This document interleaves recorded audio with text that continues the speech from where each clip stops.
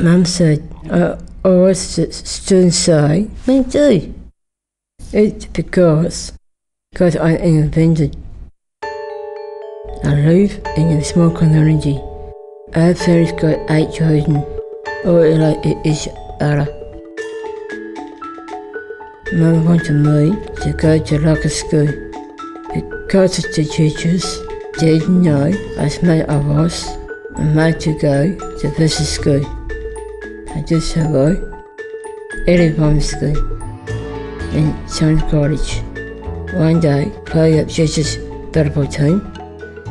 Mum helped me back Ukraine to the others to follow. I love you, Mum. I went to go to Singapore by myself.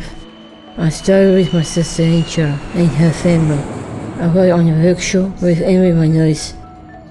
Then we got to Malaysia. Then I saw my dad's grave. He died in the fisherman hole. Can't remember my dad, but I love him too. So it's important to help people. I'm trying to do some things.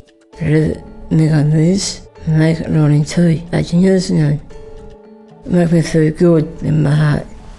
I'm working for supplies, so it's just my product. In the quiz shop, I serve customers.